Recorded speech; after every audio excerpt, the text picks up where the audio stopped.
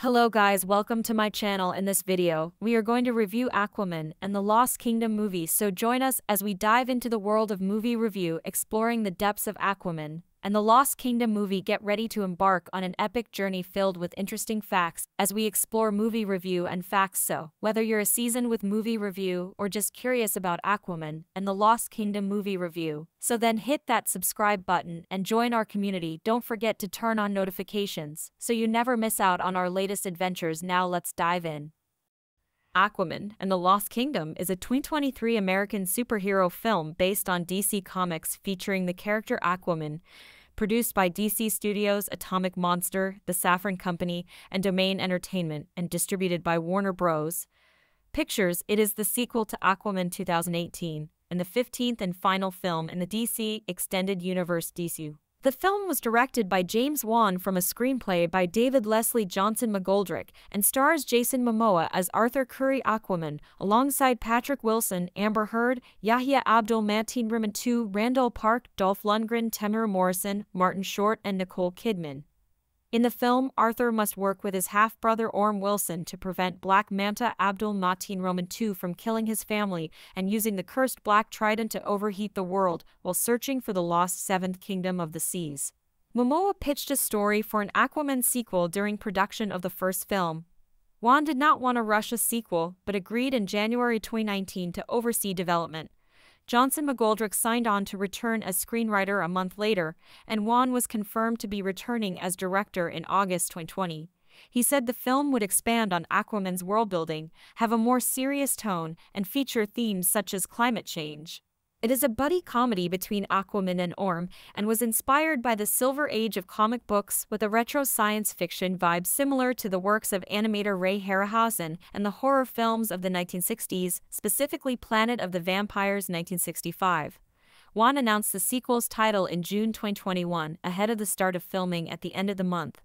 Filming concluded in January 2022, taking place in the United Kingdom, Hawaii, Los Angeles, and New Jersey, with additional filming in New Zealand. Aquaman and the Lost Kingdom premiered at a fan event at the Grove, Los Angeles on December 19, 2023, and was released in the United States on December 22. The film received generally negative reviews from critics and grossed 434 million worldwide against a production budget of 205 to $215 million. During the production of Aquaman 2018, star Jason Momoa developed a story pitch for a sequel that he gave to Warner Bros. Pictures Group chairman Toby Emmerich and producer Peter Safran. In October 2018, before the film's release, Momoa said he would be more involved in the development of a potential sequel and expected filming to begin in 2019. Director James Wan said there were several storylines that could spin out from Aquaman, with that film introducing seven underwater kingdoms that had yet to be fully explored. Momoa and his producing partner Brian Mendoza wrote a 50-page treatment for the sequel, which Warner Bros. bought but did not entirely follow, and the actor was paid 15 million for his involvement. Emmerich had enough confidence in box office projections for the film by early December to begin discussing a sequel. By the end of January 2019, when Aquaman was set to become the highest grossing film based on a single DC Comics character, Warner Bros. was in negotiations with Wan to oversee the development and writing of a sequel with the potential to return as director. Geoff Boucher of Deadline Hollywood noted that Wan had been very protective of sequels to his previous films Insidious 2010 and The Conjuring 2013 and was deeply invested in the world building of Aquaman. Wan had previously compared the world of Aquaman to other fictional worlds such as Middle-earth, the Star Wars galaxy, and the Wizarding World. In early February 2019, Warner Bros. hired Noah Gardner and Aiden Fitzgerald to write the script for a horror-tinged Aquaman spin-off film titled The Trench, based on one of the kingdoms introduced in the first film. It was expected to have a smaller budget and not feature the main cast of Aquaman, with Wan and Safran producing. Boris Kit of The Hollywood Reporter reported then that there had not yet been serious discussions about a direct sequel to Aquaman between the studio, Wan and Momoa due to them wanting to have a breather first, but several days later he reported that active development on a sequel was getting underway with the first film's co-writer and frequent Wan collaborator, David Leslie Johnson McGoldrick signing on to write the screenplay. Wan and Safran were producing the sequel, though it was still unclear if Wan would direct it. At the end of February, Warner Bros. scheduled Aquaman 2 for release on December 16, 2022. The next month, Safran explained that he and Wan did not want to rush a sequel and Warner Bros. had been supportive of that which is why the film's release was scheduled for four years after the first film. He added that they were approaching the Aquaman franchise in a similar way to the Conjuring universe, with spin offs like The Trench exploring stories about the underwater kingdoms alongside the Mothership films starring Aquaman. Safran said Wan knew the architecture, the armory, the military, the look, the feel, the general vibe of each of the seven kingdoms and wanted to explore them all in future projects. In July 2019, Wan was set to direct the film Malignant 2021 before beginning work on Aquaman 2. Patrick Wilson said in November that he had discussed plans for the sequel with Wan and indicated that he would be reprising his role as Orm Marius ocean master from the first film. A month later, Yahya Abdul Mateen Roman II confirmed that he was returning as David Kane Black Manta and was looking to flesh out the character. Johnson McGoldrick stated in March 2020 that the sequel would not be based on a specific comic book, but was taking inspiration from the Aquaman stories of the Silver Age of comic books that featured Black Manta as the villain. Wan was confirmed to be directing the sequel at the virtual DC fandom event in August when he said it would be more serious than the first film and feature themes that were more relevant to the real world, such as climate change. He said the creatives were not afraid to address it in a big way through the film and cited the Aquaman character being environmentally conscious in the comic books as someone who fights to keep the ocean clean. He also affirmed that the film would still remain a fun action fantasy movie. Momoa said a scene was featured in the film in which Aquaman addresses the United Nations on climate change, with the actor having also done so at the UN's Ocean Conference. Wan added that it would include more world building and exploration of the underwater kingdoms and would feature some horror elements similar to the trench sequence in the first film being able to expand on the world building of the first film was one of the key reasons that Wan chose to direct the sequel, along with Johnson McGoldrick's script, which Wan felt had a really cool story to bring all these characters back and then growing them in a big way. Safran felt embracing the mythic nature of the Aquaman character and pairing that with the film's world building and visual storytelling made the film compelling, and he and Momoa both believed the film's humor exceeded that of the first film, while Wan said Aquaman was at the center of the film with his charm and humor. Amber Heard debunked rumors in November 2020 that she would not be reprising her role as Mera from the first film following allegations of domestic abuse made against her by her ex husband Johnny Depp. That month, a petition to have Heard fired from the franchise received more than 1.5 million signatures and came after Warner Bros. removed Depp from Fantastic Beasts. The Secrets of Dumbledore 2022 when allegations made by The Sun that Depp abused Heard were ruled to be substantially true in a defamation lawsuit filed by Depp against The Sun. Safran said they never considered making the film without Heard and would not react to the pure fan pressure of the petition and other social media conversations. However, Heard later stated, during a defamation trial brought against her by Depp over a column in the Washington Post, that they didn't want to include her in the film and that she had to fight to keep her part. She claimed that revisions were made to the script that reduced her role to a very pared down version, including removing action sequences for her character, and she was unable to renegotiate her option contract that stipulated she would earn $2 million for the sequel, which was double what she made for the first film. By that point, in May 2022, the petition to have Heard removed from the film had received more than 4 million signatures. DC Films president Walter Hamada testified during the trial that the studio did consider recasting Mera, but this was due to concerns over Heard's lack of chemistry with Momoa rather than the abuse allegations. He added that it was the studio's philosophy to hold people to their options and not to renegotiate contracts, and said the size of Heard's role had not changed during development of the sequel. Tatiana Siegel at Variety reported that Heard had been nearly fired from the sequel after the first film's release due to the chemistry concerns, but these plans were abandoned after her ex boyfriend Elon Musk intervened.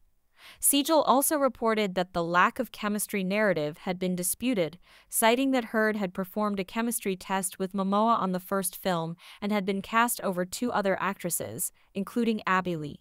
Heard described her experience with Momoa and Wan on the film's set as hostile, which was refuted by a DC spokesperson who called the production positive and collaborative. The defamation trial's jury found that both Heard and Depp defamed each other, with Heard having defamed Depp on three counts and Depp having defamed her on one count. Social media responses to the trial heavily favored Depp over Heard, with several memes and videos mocking her testimony. In June 2022, reports emerged that Heard had been fired from the film following the trial, but these were also debunked. Heard ultimately appeared for around 20 minutes in the film, with two of her scenes a fight sequence with Black Manta and a love scene with Momoa reportedly cut during production. Several commentators noted upon the film's release that many of Heard's scenes had been removed, and that the remaining scenes appeared to be clunky and awkward. Hamada explained during the trial that the film was always intended to be a buddy comedy that focused on the relationship between Aquaman and Orm. Safran compared this relationship to that of Nick Nolte and Eddie Murphy's characters in the film 48 HRS, 1982, while Wan said the film was written as a bromance action adventure story focused on that relationship with the two brothers overcoming their differences to save the world, compared to the first film, which focused on Aquaman's relationship with Mera. Actor Dolph Lundgren, who portrays Mera's father Nereus, later said that he and Heard had larger roles in the original script and cut before they were reduced during reshoots.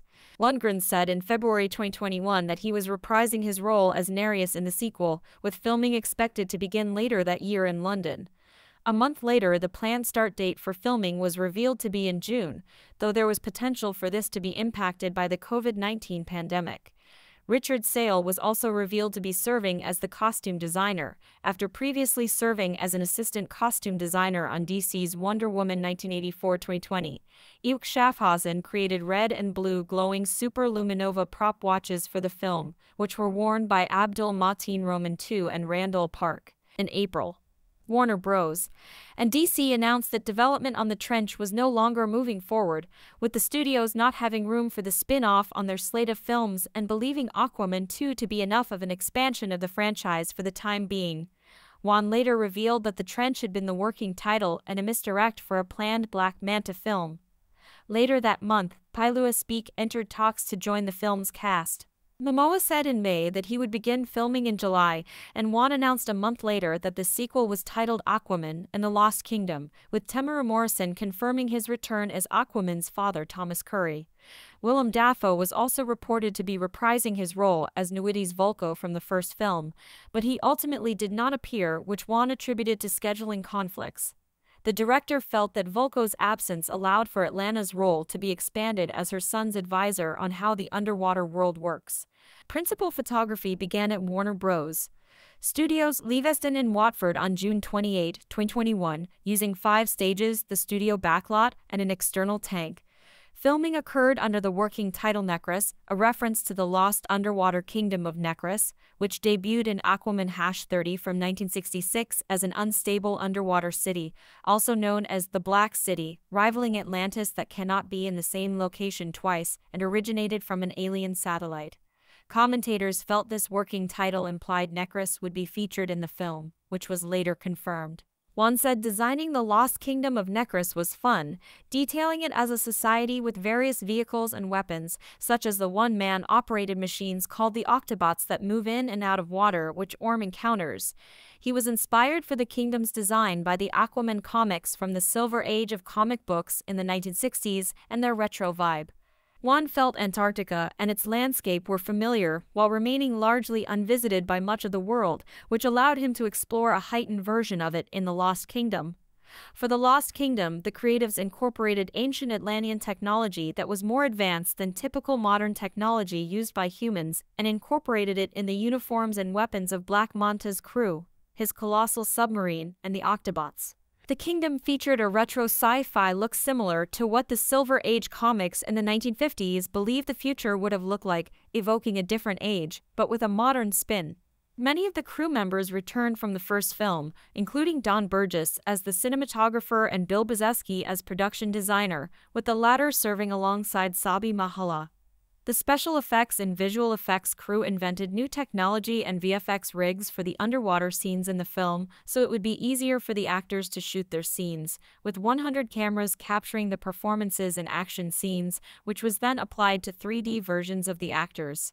This new setup came after Wan found the rigging system used on the first film to be complex and it caused physical pain for the actors with its equipment, and Wan found the new setup to be more versatile and safe. Wan said the creatives wanted the sequel to provide a more immersive and exciting experience for audiences while expanding the story and characters and explained that the depiction of Atlantis in the film was expanded upon from the first film by providing the city depths, residential areas, and an area inspired by Times Square, while also exploring some of its politics. Atlantis was also given more color and vibrancy. Safran felt the different look and feel of Atlantis was still anchored in what audiences liked from the first film, while still feeling fresh and new, highlighting Wan's ability to capture the fantasy and colors of the new worlds being explored. To create the various underwater worlds and creatures, Wan and the creatives transitioned away from the blue screen method used on the first film and instead used new technology called Eyeline Studio, which saw the actors in circular booths surrounded by 136 cameras, which producer Rob Cowan said changed the creative and practical methods of shooting the film. In August 2021, Wan said the sequel was strongly influenced by the film Planet of the Vampires 1965, as well as old school Euro horror and the stop motion monsters created by animator Ray Harryhausen. He said the film had a very retro look similar to the horror films of the 1960s and featured unsettling mechanical creatures which had an old school sci fi and horror feeling, which was connected to Black Manta's role in the film. Brzeski compared the film to Harryhausen's work on the films The Seventh Voyage of Sinbad 1958 and Jason and The Argonauts 1963 for being a fantastical adventure with a great quest and monsters, such as the deserter tribe which are located in the Sahara Desert and evolved into vampiric creatures by relying on blood for moisture, while incorporating issues modern audiences could relate to. Wilson said they pushed the fight scenes and stunts further than the first film in addition to exploring the characters' relationships. He also revealed that the character T.O.P.O., an octopus playing drums, appears in the film. Wan said that, following the positive reception to T.O.P.O., his brief appearance in the first film, he and Johnson McGoldrick decided to give the character a significant role in the sequel, and believed the inclusion of T.O.P.O and other creatures from the Aquaman comics allowed audiences to know they were embracing the character's fictional world. Location shooting took place at Saunton Sands Beach, Devon in early September 2021 and at Piccadilly in the city of Westminster, London. Later that month, Asbæk's casting was confirmed, portraying Kordax, the undead king of the lost kingdom of Necrus. Randall Park was revealed to be returning from the first film as Dr. Stephen Shin, Vincent Regan had been cast as the ancient king Atlan, replacing Graham McTavish, who briefly portrayed the character in the first film. Jani Zhao was set to portray Stingray, an original character for the film, in her first English language feature role, and Indya Moore was revealed to be portraying Karshon in the sequel. After shooting 95% of the film in the United Kingdom, production moved to Hawaii until December 9 for on location shooting. Filming also occurred in Jersey City, New Jersey that year. Nicole Kidman was confirmed to have reprised her role as Aquaman's mother Atlanna shortly after that. Filming then moved to Los Angeles and officially wrapped on January 12, 2022 in Malibu. Filming was completed on time and under budget, and reportedly needed around a week of reshoots. Warner Bros. adjusted its release schedule in March 2022 due to the impacts of the COVID 19 pandemic on the workload of visual effects vendors. Aquaman and the Lost Kingdom was moved to March 17, 2023, and The Flash was also moved from 2022 to 2023 to allow time for their visual effects work to be completed, while Shazam! Fury of the Gods was moved up to this film's previous release date because it would be ready for release earlier. Wan said that while he loved the Christmas release timeframe for the film, he was thankful for this delay as it allowed more time for work on the visual effects and the new technology for it, which he called groundbreaking and said the film would not have made its prior release date. He had also been working on his director's cut at this time. Wilson also said that new VFX techniques were used for The Lost Kingdom. In June 2022, the final writing credits were revealed. Johnson McGoldrick received screenplay credit, while the duos of Wan and Johnson McGoldrick and Momoa and his producing partner Thomas Pa'a Sibbett received story credit. Momoa revealed in July 2022 that Ben Affleck was reprising his DC Extended Universe DC role of Bruce Wayne Batman for reshoots on the Warner Bros. backlot in Burbank, California.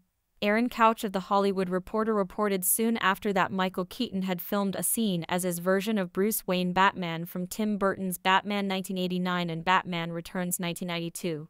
Keaton's version was set to be introduced to the DCU in The Flash before that film's release was pushed to after Aquaman and the Lost Kingdoms. The scene reportedly confused audiences during test screenings, and Couch felt this was why Affleck joined the reshoots.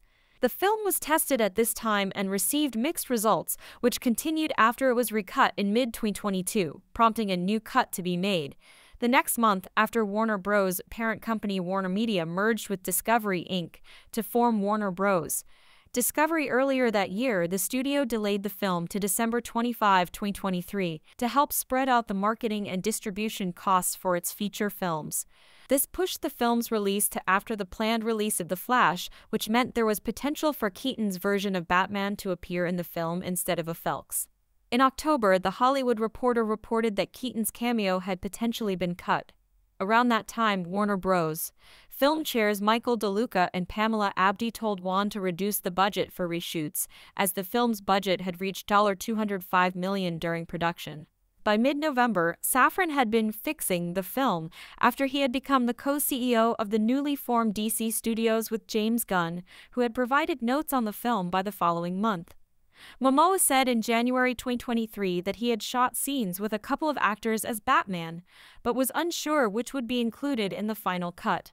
In April 2023, the film's release date was moved up five days earlier to December 20, 2023. Between mid 2022 and the start of 2023, two sets of reshoots took place following several test screenings, with DeLuca and Abdy involved in editing the film. After further test screenings in early 2023, Gunn then consulted on the film. Those reshoots concluded right before the 2023 Writers Guild of America strike began that May, and the studios approached a third set of reshoots, which increased the film's budget to occur in New Zealand over five days in mid June with Momoa and Wilson, and was completed in four days. By then, both Affleck and Keaton were excluded from the latest cut of the film due to Gunn and Safran's plans to reboot the DCU into their new franchise, the DC Universe DCU. Neither actor appeared in the final version of the film. Following the reshoots, the film's budget ultimately reached 215 million. Around that time, Wan said he had to make some adjustments during production, as it had been challenging to keep track of the different versions of the DCU while remaining mindful of other plans for the franchise, but was fortunate that the Aquaman films were far removed from the rest of the DCU films and characters. In September, Wan said the film would not be connected to any previous DC films as he was uncertain if it was going to be released before or after The Flash. He explained that he had directed a relatively small amount of additional photography, which he described as a routine part of the production process due to some actors being unavailable during some parts of principal photography. Lundgren later said that the studio decided to reshoot much of the footage to rebuild it with a slightly different storyline, resulting in his and Heard's roles being reduced. In October 2023, the film's release was delayed by two days to December 22, 2023. The following month, Warner Bros. signed a new multi year co financing deal with Domain Capital for their theatrical films, including The Lost Kingdom, through that company's $700 million fund for media and entertainment, Domain Entertainment. Kirk Morri returned as the editor from the first film, and Nick Davis served as the visual effects supervisor, having previously worked on The Dark Knight 20. Nearly each frame in the film featured visual effects, which were provided by Cinesite, DNEG, Industrial Light, and Magic Ilm, Moving Picture Company MPC, Scanline VFX, and Rodeo FX. Wan and Wilson teased plans for the film in a panel at the virtual DC fandom event in August 2020.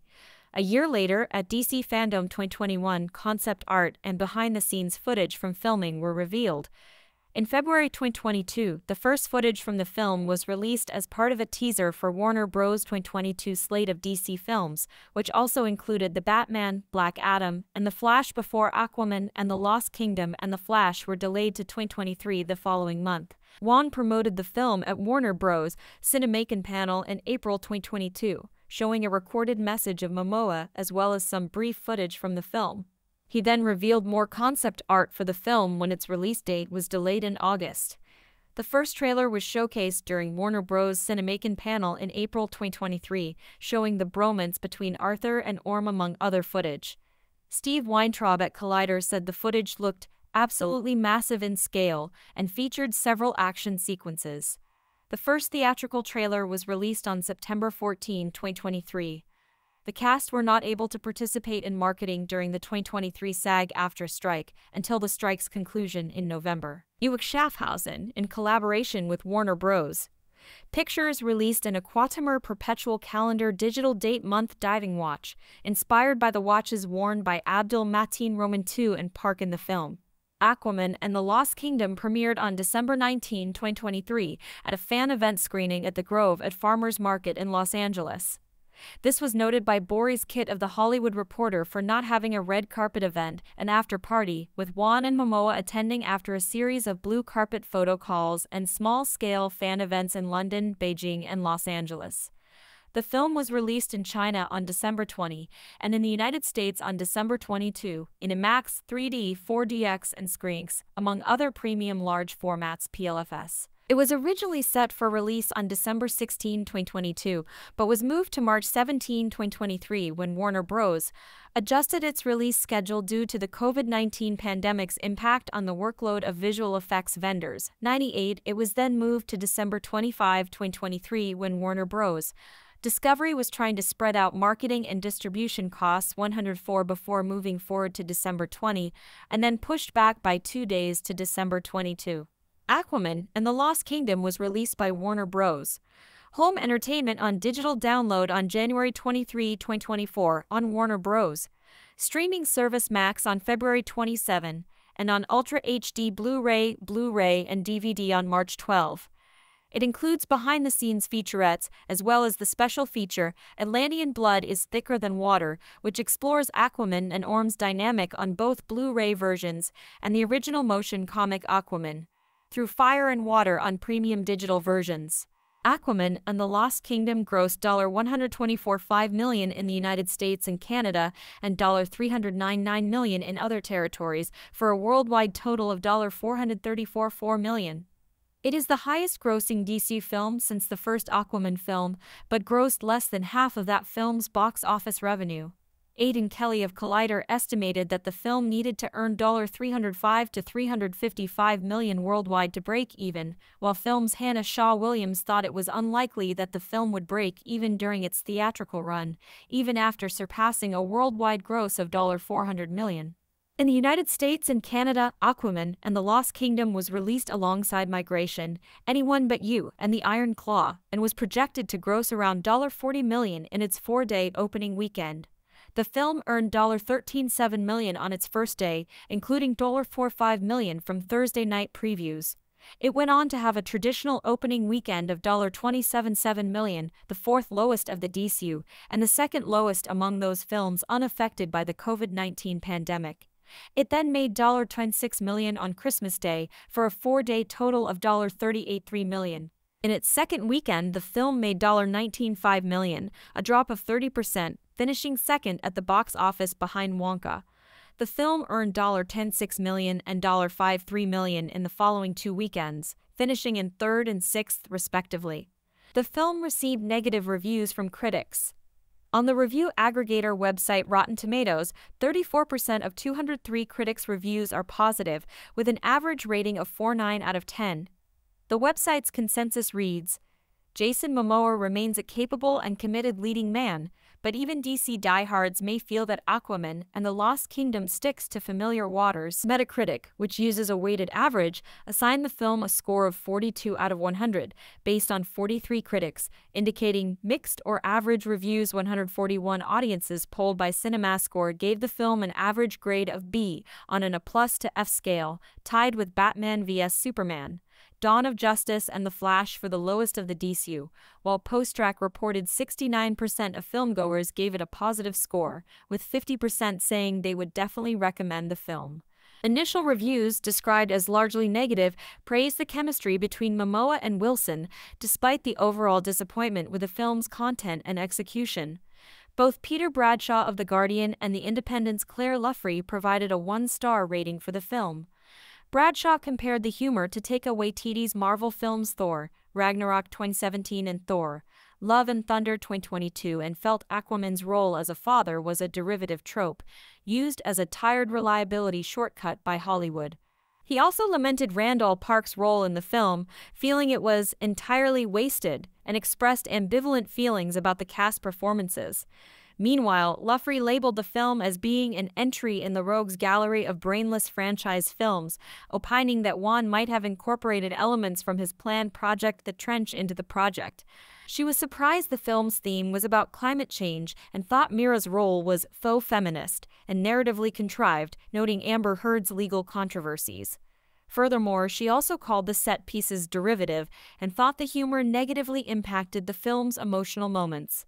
Giving a two star review, writer Nicholas Barber of the BBC began by expressing his views that Aquaman's box office revenue was the primary reason for this film's existence. However, he praised the performances of Wilson and Abdul Mateen Roman too, while noting that Momoa seems to have been miscast as he's too earthy to be the king of the sea. Barber also called the relationship between Arthur and Orm cliched, lamented at the complete waste of Kidman's talent, and opined that while most of Heard's scenes had been edited out, the film's unrelated plot was such that her absence did not matter much. Ultimately, he concluded that the film never attempts anything original or honest and criticized its brutal editing for rushing through every potentially major event in a blur of montages and voiceovers. David Fear of Rolling Stone felt it functioned as a standalone film and was separate from the DCU, but disliked the tone and visual effects. Fear also called the storytelling curiously thin and was mixed on its commentary regarding climate change, but appreciated Momoa's performance and thought the film adequately concluded the DCU. CNN's Brian Lowry negatively compared it to Wonder Woman 1984-2020 and felt the lack of a new antagonist was to its detriment, calling David Kane a one-note villain. He enjoyed Momoa's performance and thought it contributed to the film's fun, but also was not interested in Curry and Orm's relationship as it wades through too many clunky moments to reach the few good ones. Writing for the Associated Press, Mark Kennedy thought the film's plot to be derivative from other films such as The Matrix 1999, Pirates of the Caribbean, and Star Wars and disliked references to other films. Nevertheless, Kennedy considered Momoa's performance to be holding it all together and summed up the film as attempting to raise the stakes by having a higher production budget. Wan's direction was commended by Alyssa Wilkinson in the New York Times and Phil Owen in GameSpot, with Wilkinson crediting him with creating a film beyond the paint by numbers superhero movies we've been watching for decades now. Wilkinson also enjoyed the political commentary, as she felt certain elements were metaphors to authoritarianism and fascism. She primarily enjoyed Wilson's performance and Orm's character development compared to Aquaman, but felt certain plot elements and the humor became repetitive and boring. Owen commended the production values, but felt it lacked substance and was empty headed, going on to give the film an 8 out of 10. The AV Club's Matthew Jackson gave it a B grade, enthusiastically enjoying the film's depiction of Orm and Arthur's relationship, calling that formula absolute gold, both on a set piece and a character level. However, Jackson opined the narrative contained too much and disliked the plotting, but still felt it could effectively tell a cohesive narrative and enjoyed his overall viewing experience. Michael Ordonia of the Los Angeles Times felt it highlighted climate change in an earnest if clumsy fashion and expressed minor complaints with the absence of physics during CGI based action sequences underwater. Ordonia enjoyed the film's buddy cop movie tone and noted how it focused on portraying Arthur interacting with his family rather than Mera. He commended the characterization of Arthur and Orm, complimenting the former as the most alive character in the DCU, and enjoyed the short runtime. Meanwhile, Bob Strauss from the San Francisco Chronicle considered it to be a decent conclusion for the DCU, and added that the story and runtime had been concise and efficient, agreeing with Ordona's sentiments. He mostly enjoyed the film's design and visual effects, but felt it was similar to Zack Snyder's then released film Rebel Moon 2023. He considered the acting effective in conveying the sensation of being underwater and highlighted Arthur and Orm's relationship, but disliked the delivery of exposition. In December 2022, The Hollywood Reporter reported that Warner Bros. was considering ending the Aquaman film series and recasting Momoa as the character Lobo following Aquaman and the Lost Kingdom. In January 2023, Momoa stated that he would always be Aquaman, but felt that he could also portray other characters. Later that month, DC Studios' co-CEOs Gunn and Safran said there was potential for Momoa to reprise his role in the DCU, but a decision on Aquaman had not been made. No actor would be playing multiple characters, so if they did cast Momoa as Lobo, he would not portray Aquaman in the DCU. Gunn confirmed that Aquaman and the Lost Kingdom, alongside The Flash, would lead into the DCU's first film Superman 2025. Safran expressed interest in continuing to work with Momoa, either within the world of Aquaman or finding another character. He explained that they set a high bar for casting and felt that Momoa's Aquaman was a perfect casting. In September 2023, Gunn clarified that any DC media released before the first projects for the DCU in 2024 would not be canon to that franchise, leading commentators to question the possibility of a potential continuation moving forward. Wan said The Lost Kingdom would help set up a sequel and expressed interest in directing it after a long break. The following month, Variety reported that none of the main cast members from Zack Snyder's DCU films would reprise their roles in the DCU, including Momoa as Aquaman. However, Momoa had reportedly been in talks to portray Lobo in either Superman or a solo film for the character.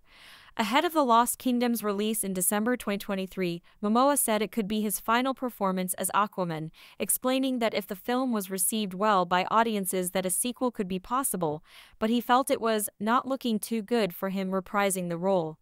The actor said he had a lot of ideas for the character and indicated that a younger character, such as Aquaman's son Arthur Jr., could be featured in a potential third Aquaman film. He also said that he would not be replaced with a different actor as Aquaman. Safran said at that time that Momoa would always have a home at DC and that we'll see what happens with him beyond this film. In the DC expanded universe of films, which appears to be winding down, there's only one hero who brings an instinct for fun to every scene, along with an awareness of his own ridiculousness, and that's Aquaman. Specifically, that's Aquaman as played by Jason Momoa, who refashioned the half-human prince and later king of Atlantis, aka Arthur Curry, as a brawny, long-haired, beer-chugging, high-fiving, wisecracking bro who bears quite a bit of resemblance to an actor named Jason Momoa. Momoa achieves peak Momoa in Aquaman and the Lost Kingdom, a neon submarine wreck of a sequel wherein the big guy tries to save the planet from returning bad guy Black Manta, aka David Kane Yahya Abdul Mateen Roman II, who wants revenge against Aquaman for killing his dad in the first movie, and has allowed himself to be possessed by the spirit of the Black Trident, which was forged by denizens of the Seventh Kingdom of Atlantis, a necropolis filled with demonic creatures. Black Manta is dangerous to himself as well as others, and not as in control of the awesome weapon he wields as he thinks he is. His plan involves the use of a glowing green ancient power source that's like radiation times a zillion, and is accelerating the pace of climate change. The film's title is etched into the face of a collapsing glacier. Momoa is the best reason to see the movie. He's as alpha cool, even jerk-ish, as a maverick action star can be, while also making you believe his character is fundamentally decent and knows when he's gone too far and sincerely feels bad about it. And he's got range. One minute, Momoa will practically be doing his own smart Aleki running commentary on the film he's in, and in the next he'll weep bitter tears or scream out in anguish or vengeful fury over some dastardly action by a bad guy, as if he's acting in a silent movie melodrama with title cards and it all works. The self-awareness never becomes self-conscious or off-putting. Rather than give viewers emotional whiplash, Momoa leads them on to the next scene or mode in a way that makes it feel as if it's all of a piece. By the way, our hero has an infant son in this one by his wife Mera, played by Amber Heard, and there are Pixar-style obvious, but can't miss jokes about the kid keeping the parents up all night. Momoa's movie star bona fides are confirmed by the belly laughs that he gets from the baby. The second best reason to see the film is Momoa's chemistry with his co-star Patrick Wilson, returning as Arthur's half-brother Orm Marius, aka the Ocean Master, the deposed would-be king of Atlantis and Arthur's chief rival in the first movie. Wilson seems to have been warped into contemporary Hollywood from a much earlier decade. He has a Van Heflin quality in this one Matt typed for the benefit of any oldsters and Wikipedia consulters who might be reading. He is as dry in this role as a man playing an ocean-dwelling humanoid could be. He plays Orm not just as a guy who's never in on the joke, but doesn't seem to know what jokes are. That makes him the perfect foil for Momoa's Arthur Curry, who refers to Orm as a little brother despite Lil Bro's repeated attempts to destroy him in the last film and messes with his head as only a big brother can. Arthur is never more infuriating to Orm than when he's barreling through life, crashing and smashing his way past obstacles, somehow coming out unscathed and grinning at Orm as if he had a plan the whole time. Returning director James Wan and screenwriter David Leslie Johnson McGoldrick, one of Wan's go-to collaborators. He wrote the first Aquaman and two Conjuring sequels don't waste a lot of time either setting up the story or laboring to convince us that the rest of the cast of the first film including Temuera Morrison and Nicole Kidman as Arthur's dad and mom, and Dolph Lundgren as Mera's father Nereus had dramatically sound reasons for staying out of the way so Momoa and Wilson could carry the picture probably two-thirds of this sequel's running time is devoted to Arthur and Orm doing the argumentative buddies on a mission thing, with a bit of estranged brothers reconciling, plus dashes of redemption narrative, lessons learned, and admitting you were wrong so that you can grow. This is a fun movie, but not anywhere near a great one. It lacks the go for broke bigness of the original, with its flagrantly melodramatic family dynamics and knowingly ludicrous spectacle like the seahorses that whinnied and the sharks that roared. There's a cluttered too muchness to the production. You may get the sense that there was chaos behind the scenes and stuff that was staged and shot with the intention of having it play out full length had to get pulverized and reconstituted in the editing to make the totality work for audiences and exhibitors. The narrated by Aquaman opening montage plays like an attempt to shave 20 minutes off the running time and get scene setting and expository throat clearing out of the way, so the movie could jump ahead to the bits with the brothers getting in and out of trouble and working through their relationship issues while toppling statues, punching giant bugs, and zapping people with laser guns. How many influences do you think they referenced in this? My viewing companion asked afterward, I wouldn't dare offer a number, but the film is upfront about its fondness for Star Wars, Jules Verne, H.P. Lovecraft, Peter Jackson's Lord of the Rings trilogy, the Matrix films in particular, the Sentinel bots, and the works of H.G. Wells' one spectacular extended action scene is built around Arthur and Orm trying to fend off a War of the Worlds like tripod machine.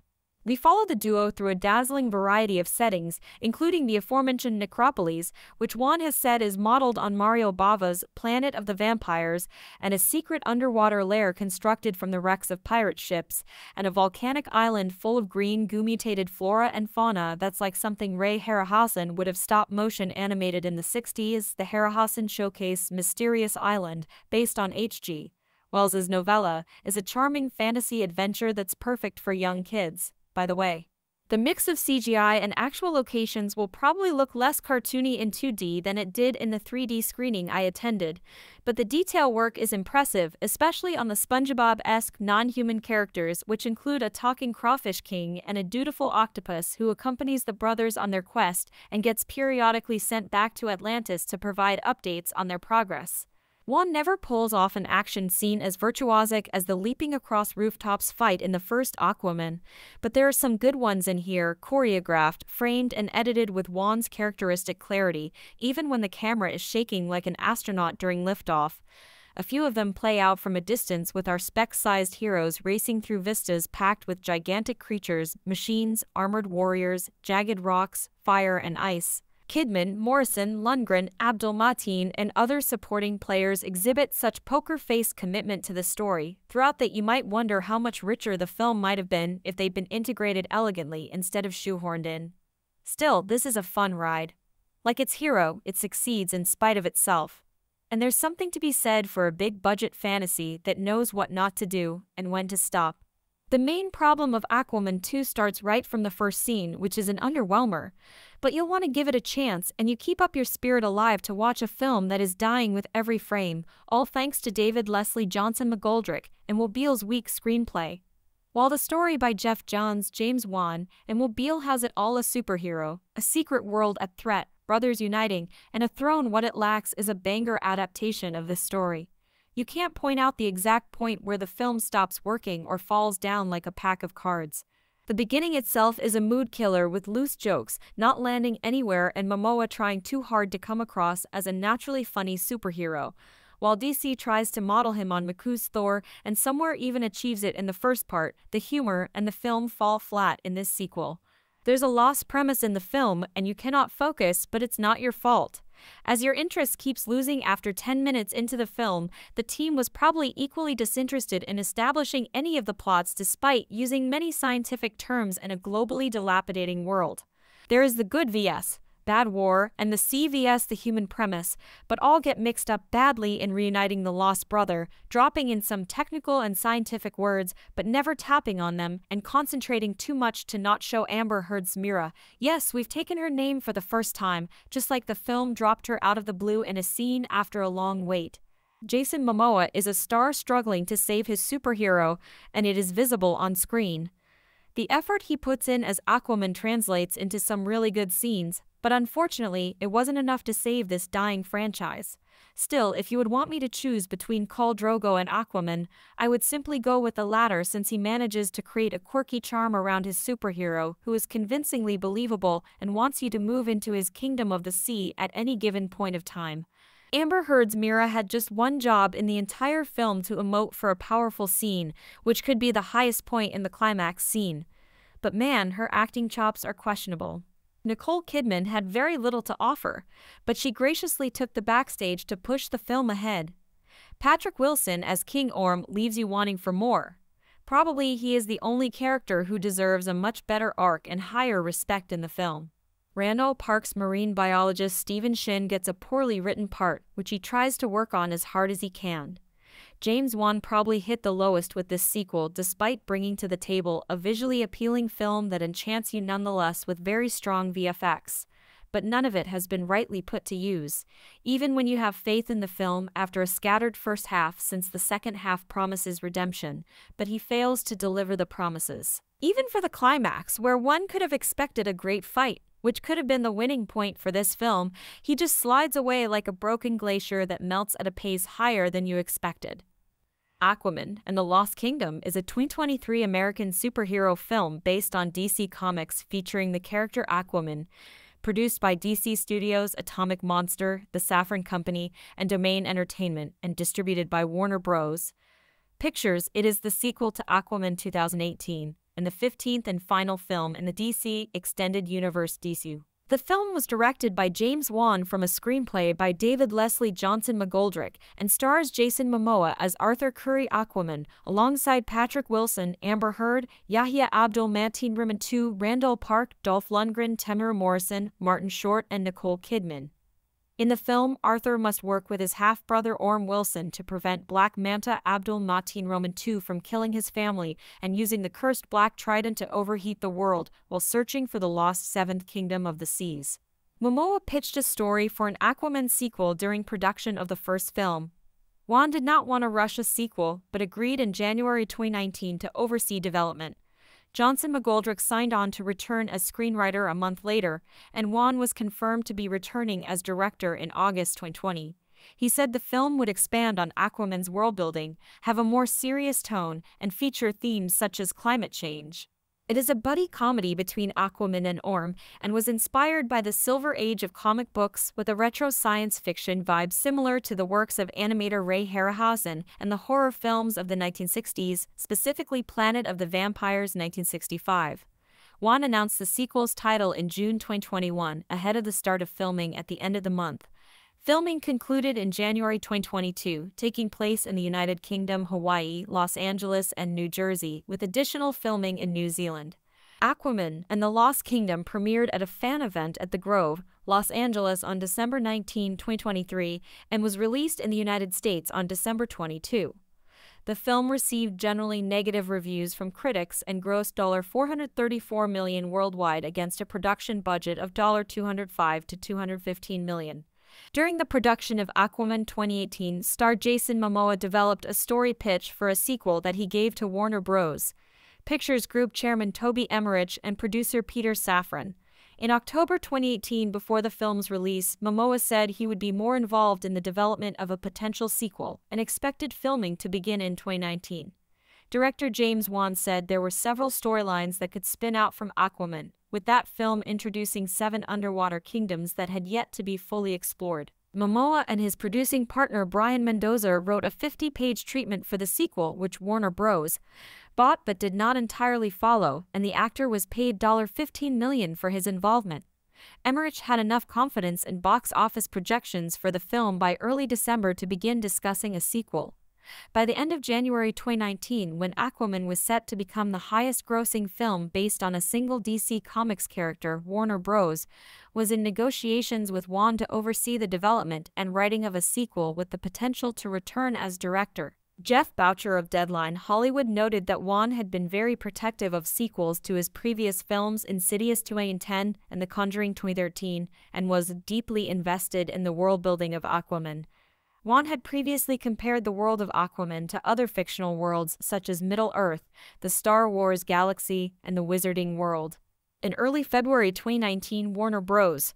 hired Noah Gardner and Aiden Fitzgerald to write the script for a horror-tinged Aquaman spin-off film titled The Trench, based on one of the kingdoms introduced in the first film. It was expected to have a smaller budget and not feature the main cast of Aquaman, with Wan and Safran producing. Boris Kit of The Hollywood Reporter reported then that there had not yet been serious discussions about a direct sequel to Aquaman between the studio, Wan and Momoa due to them wanting to have a breather first, but several days later he reported that active development on a sequel was getting underway with the first film's co-writer and frequent Wan collaborator, David Leslie Johnson McGoldrick signing on to write the screenplay. Wan and Safran were producing the sequel, though it was still unclear if Wan would direct it. At the end of February, Warner Bros. scheduled Aquaman 2 for release on December 16, 2022. The next month, Safran explained that he and Wan did not want to rush a sequel and Warner Bros. had been supportive of that which is why the film's release was scheduled for four years after the first film.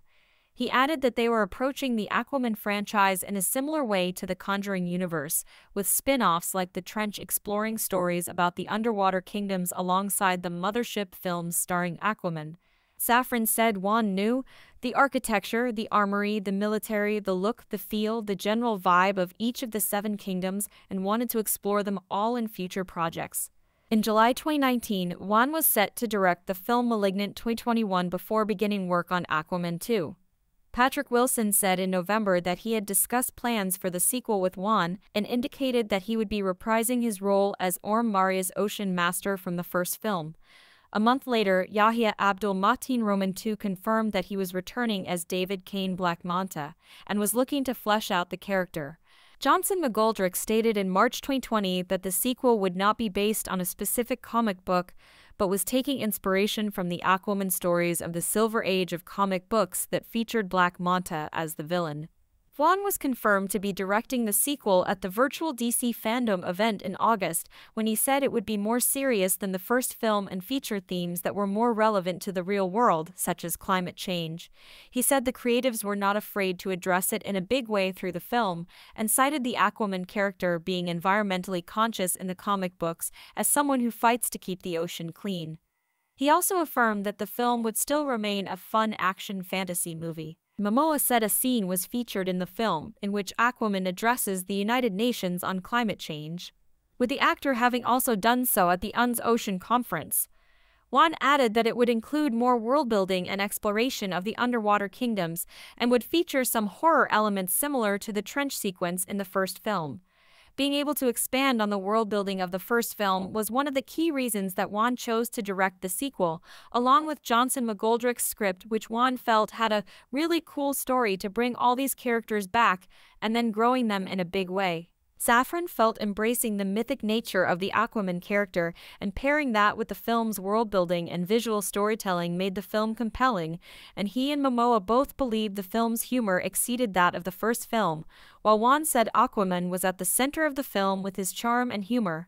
Amber Heard debunked rumors in November 2020 that she would not be reprising her role as Mera from the first film following allegations of domestic abuse made against her by her ex husband Johnny Depp.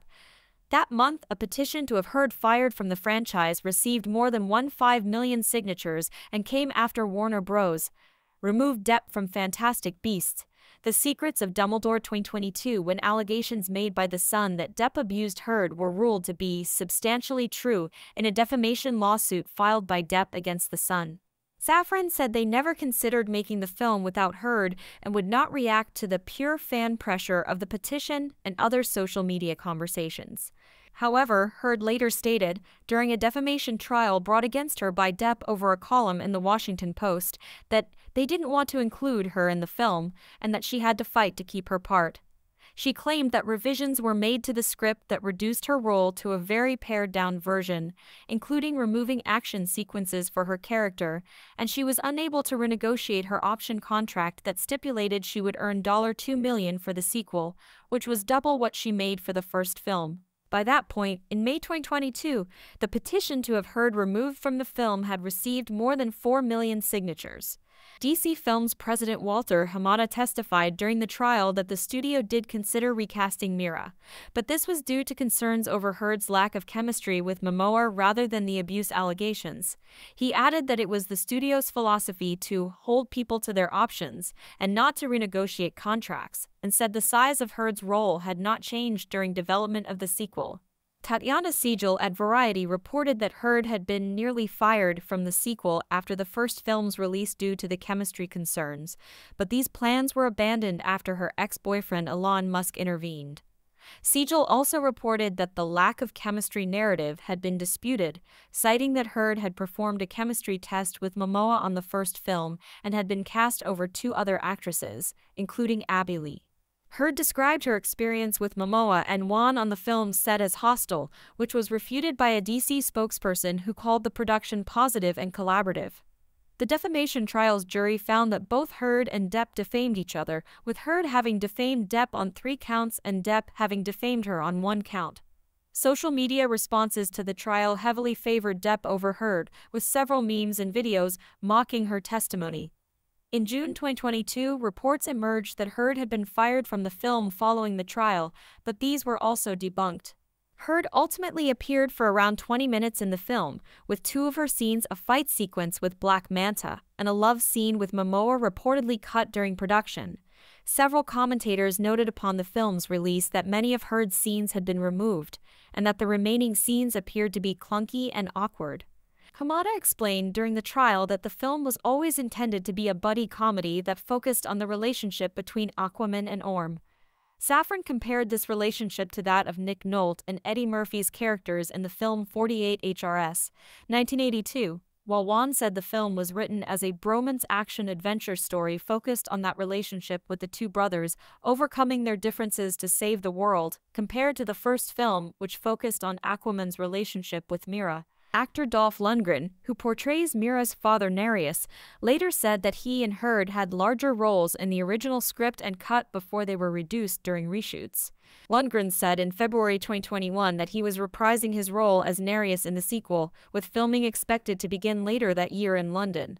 A month later, the planned start date for filming was revealed to be in June, though there was potential for this to be impacted by the COVID 19 pandemic. Richard Sale was also revealed to be serving as the costume designer, after previously serving as an assistant costume designer on DC's Wonder Woman 1984-2020. IWC Schaffhausen created red and blue glowing Super Luminova prop watches for the film, which were worn by Abdul Mateen Roman II and Randall Park. In April, Warner Bros. and DC announced that development on The Trench was no longer moving forward, with the studios not having room for the spin off on their slate of films and believing Aquaman 2 to be enough of an expansion of the franchise for the time being. Wan later revealed that The Trench had been the working title and a misdirect for a planned Black Manta film. Later that month, Pilou Asbæk entered talks to join the film's cast. Momoa said in May that he would begin filming in July, and Wan announced a month later that the sequel was titled Aquaman and the Lost Kingdom, with Temuera Morrison confirming his return as Aquaman's father Thomas Curry. Willem Dafoe was also reported to be reprising his role as Nuidis Vulko from the first film, but he ultimately did not appear, which Wan attributed to scheduling conflicts. The director felt that Vulko's absence allowed for Atlanna's role to be expanded as her son's advisor on how the underwater world works. Principal photography began at Warner Bros. Studios Leavesden in Watford on June 28, 2021, using five stages, the studio backlot, and an external tank. Filming occurred under the working title Necrus, a reference to the lost underwater kingdom of Necrus, which debuted in Aquaman Hash 30 from 1966 as an unstable underwater city, also known as the Black City, rivaling Atlantis that cannot be in the same location twice and originated from an alien satellite. Commentators felt this working title implied Necrus would be featured in the film, which was later confirmed. Wan said designing the Lost Kingdom of Necrus was fun, detailing it as a society with various vehicles and weapons, such as the one-man operated machines called the Octobots that move in and out of water which Orm encounters. He was inspired for the kingdom's design by the Aquaman comics from the Silver Age of comic books in the 1960s and their retro vibe. Wan felt Antarctica and its landscape were familiar while remaining largely unvisited by much of the world, which allowed him to explore a heightened version of it in The Lost Kingdom.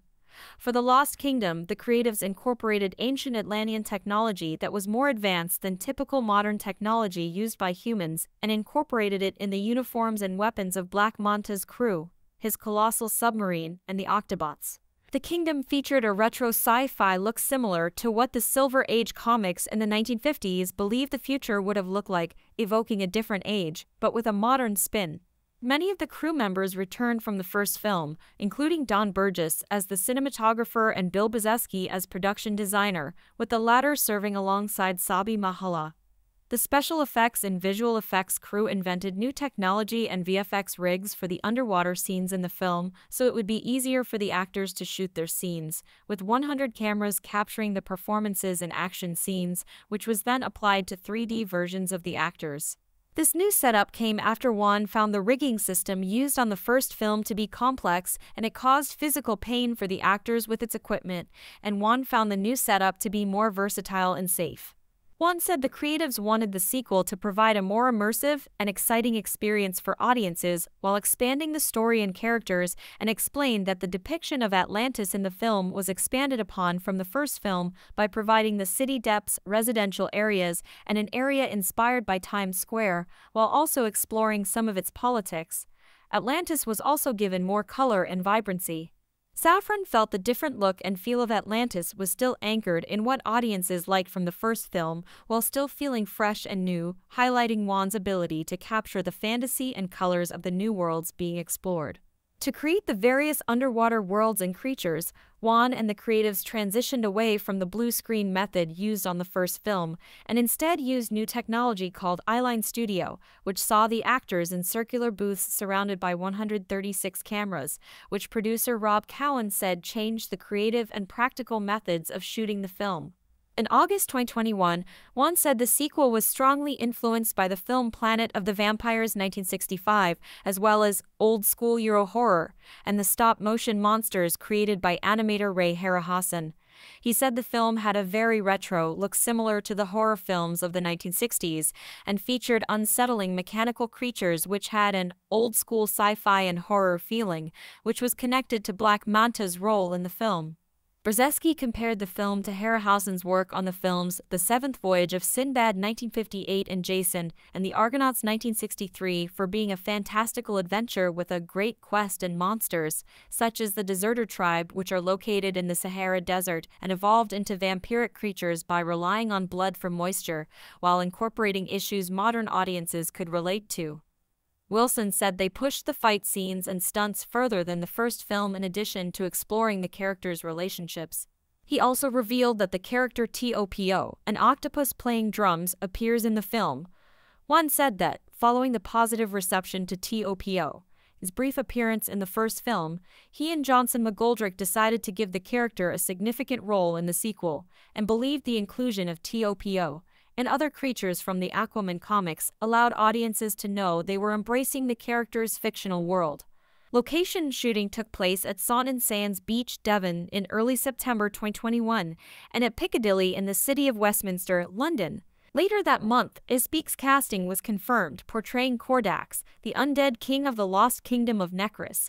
Randall Park was revealed to be returning from the first film as Dr. Stephen Shin. Vincent Regan had been cast as the ancient king Atlan, replacing Graham McTavish, who briefly portrayed the character in the first film.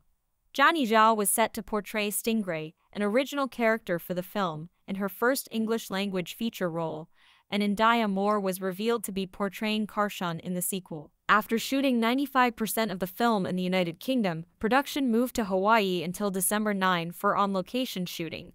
Filming also occurred in Jersey City, New Jersey that year. Nicole Kidman was confirmed to have reprised her role as Aquaman's mother Atlanna shortly after that. Filming then moved to Los Angeles and officially wrapped on January 12, 2022 in Malibu. Filming was completed on time and under budget, and reportedly needed around a week of reshoots. Warner Bros. adjusted its release schedule in March 2022 due to the impacts of the COVID 19 pandemic on the workload of visual effects vendors. Aquaman and the Lost Kingdom was moved to March 17, 2023, and The Flash was also moved from 2022 to 2023 to allow time for their visual effects work to be completed, while Shazam! Fury of the Gods was moved up to this film's previous release date because it would be ready for release earlier.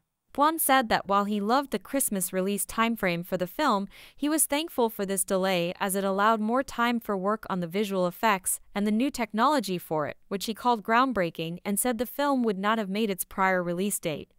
He had also been working on his director's cut at this time. Wilson also said that new VFX techniques were used for The Lost Kingdom. In June 2022, the final writing credits were revealed. Johnson McGoldrick received screenplay credit, while the duos of Wan and Johnson McGoldrick and Momoa and his producing partner Thomas Pa'a Sibbett received story credit. Momoa revealed in July 2022 that Ben Affleck was reprising his DC Extended Universe DC role of Bruce Wayne Batman for reshoots on the Warner Bros. backlot in Burbank, California. Aaron Couch of The Hollywood Reporter reported soon after that Michael Keaton had filmed a scene as his version of Bruce Wayne Batman from Tim Burton's Batman 1989 and Batman Returns 1992. Keaton's version was set to be introduced to the DCU in The Flash before that film's release was pushed to after Aquaman and The Lost Kingdoms. The scene reportedly confused audiences during test screenings, and Couch felt this was why a Affleck joined the reshoots. The film was tested at this time and received mixed results, which continued after it was recut in mid 2022, prompting a new cut to be made. The next month, after Warner Bros. parent company Warner Media merged with Discovery Inc. to form Warner Bros. Discovery earlier that year, the studio delayed the film to December 25, 2023, to help spread out the marketing and distribution costs for its feature films. This pushed the film's release to after the planned release of The Flash, which meant there was potential for Keaton's version of Batman to appear in the film instead of a Affleck's. In October, The Hollywood Reporter reported that Keaton's cameo had potentially been cut. Around that time, Warner Bros. film chairs Michael DeLuca and Pamela Abdy told Wan to reduce the budget for reshoots, as the film's budget had reached 205 million during production. By mid November, Safran had been fixing the film after he had become the co CEO of the newly formed DC Studios with James Gunn, who had provided notes on the film by the following month. Momoa said in January 2023 that he had shot scenes with a couple of actors as Batman, but was unsure which would be included in the final cut. In April 2023, the film's release date was moved up five days earlier to December 20, 2023. Between mid 2022 and the start of 2023, two sets of reshoots took place following several test screenings, with DeLuca and Abdy involved in editing the film. After further test screenings in early 2023, Gunn then consulted on the film. Those reshoots concluded right before the 2023 Writers Guild of America strike began that May, and the studios approached a third set of reshoots, which increased the film's budget to occur in New Zealand over five days in mid June with Momoa and Wilson, and was completed in four days. By then, both Affleck and Keaton were excluded from the latest cut of the film due to Gunn and Safran's plans to reboot the DCU into their new franchise, the DC Universe DCU. Neither actor appeared in the final version of the film. Following the reshoots, the film's budget ultimately reached $215 million. Around that time, Wan said he had to make some adjustments during production, as it had been challenging to keep track of the different versions of the DCU while remaining mindful of other plans for the franchise, but was fortunate that the Aquaman films were far removed from the rest of the DCU films and characters. In September, Wan said the film would not be connected to any previous DC films as he was uncertain if it was going to be released before or after The Flash. He explained that he had directed a relatively small amount of additional photography, which he described as a routine part of the production process due to some actors being unavailable during some parts of principal photography. Lundgren later said that the studio decided to reshoot much of the footage to rebuild it with a slightly different storyline, resulting in his and Heard's roles being reduced. In October 2023, the film's release was delayed by two days to December 22, 2023. The following month, Warner Bros. signed a new multi year co financing deal with Domain Capital for their theatrical films, including The Lost Kingdom, through that company's $700 million fund for media and entertainment, Domain Entertainment. Kirk Morri returned as the editor from the first film, and Nick Davis served as the visual effects supervisor, having previously worked on The Dark Knight 20. Nearly each frame in the film featured visual effects, which were provided by Cinesite, DNEG, Industrial Light, and Magic Ilm, Moving Picture Company MPC, Scanline VFX, and Rodeo FX. Wan and Wilson teased plans for the film in a panel at the virtual DC Fandom event in August 2020. A year later, at DC Fandom 2021, concept art and behind the scenes footage from filming were revealed.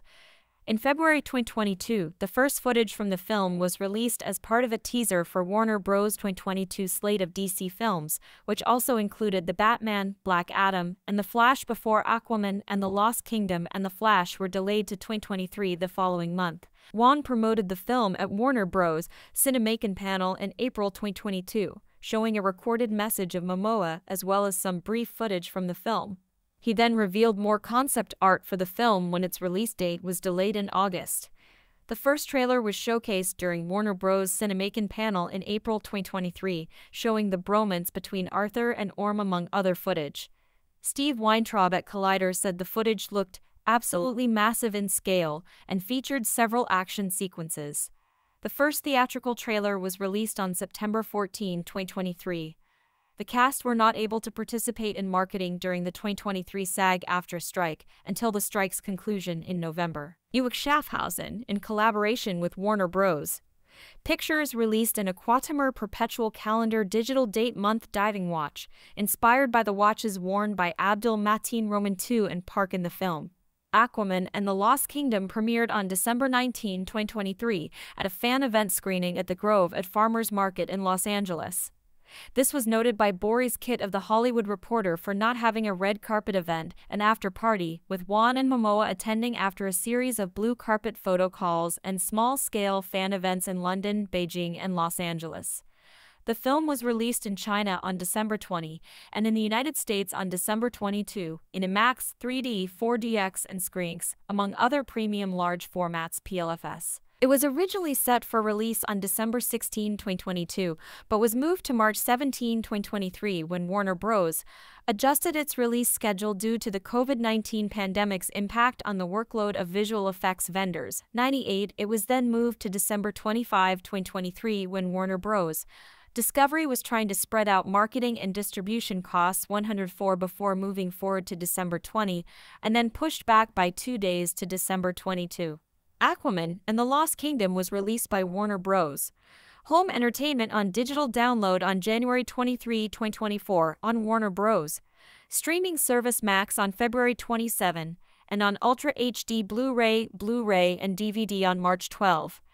It includes behind-the-scenes featurettes as well as the special feature Atlantean Blood is Thicker Than Water, which explores Aquaman and Orm's dynamic on both Blu-ray versions and the original motion comic Aquaman through Fire and Water on premium digital versions. Aquaman and the Lost Kingdom grossed 124.5 million in the United States and Canada and $399 million in other territories for a worldwide total of $434.4 million.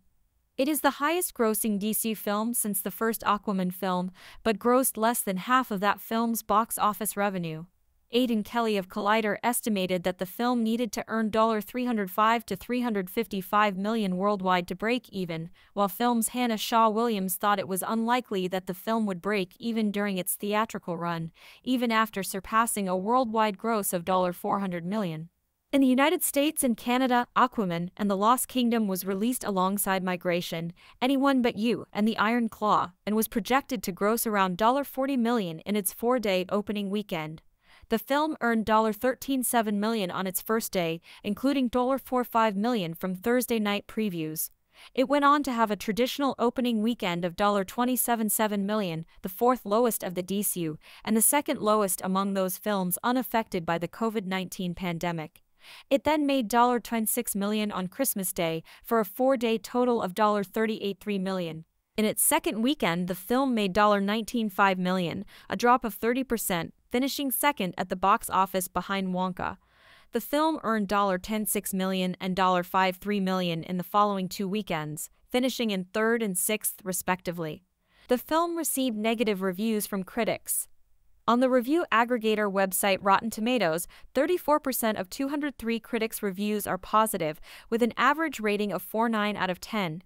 The website's consensus reads Jason Momoa remains a capable and committed leading man, but even DC diehards may feel that Aquaman and the Lost Kingdom sticks to familiar waters. Metacritic, which uses a weighted average, assigned the film a score of 42 out of 100, based on 43 critics, indicating mixed or average reviews. 141 audiences polled by CinemaScore gave the film an average grade of B on an A plus to F scale, tied with Batman vs Superman.